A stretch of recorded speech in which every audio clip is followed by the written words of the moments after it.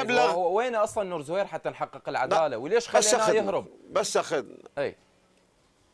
لا سيد الكريم إحنا بدنا نحكي بالقانون. نعم. إذا كن بالظن إلقاء القبض بالظن أو الإعدام بالظن هذا موضوع ثاني.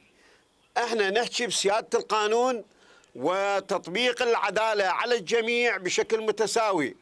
من يكون هذا؟ فعلينا أن نتحقق ونرصد نرصد إجراءات القضاء الآن الموضوع في ذمة القضاء في آه، ساحة القضاء. ليست لدى آه، السلطة التنفيذية ولا على الرقابية. الآن إحنا على آه، السلطة القضائية يعني ومع السلطة القضائية والانسانيه لجنه تحقيق العدل. المفروض النزاهة هي اللي تتحرك. خلاص أمر الق... لا لا لا لا خل أحكي لك الآلية يعني. أمر إلقاء قبض صدر يتم تنظيم ملف استرداد. إذا كان إحنا وهذه الدول بيننا اتفاقية بين العراق وهذه الدول الملاذ آه، اتفاقية استرداد المطلوبين.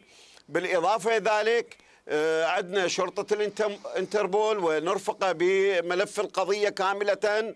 بالمناسبة مو ورقة تروح القاء قبض يجيبوه ملف القضية متكاملة تذهب مع بالنشرة الحمراء سعيد. يتم سعيد. استرداد المطلوب أستاذ سعيد حضرتك تعرف والكل يعرف وقبل شوي أستاذ عقيل الرديني ذكر وأكد أكو شركاء سياسيين أكو سياسيين كبار شركاء أقوياء هذا نص كلامه جاي يدعمون نور زهير اللي خرج بكفالة واللي هرب موضوع ثاني سيدي الكريم حبيبي هذا موضوع أنا أتحدث بالمسار القضائي وإلي كلام آخر أيضا.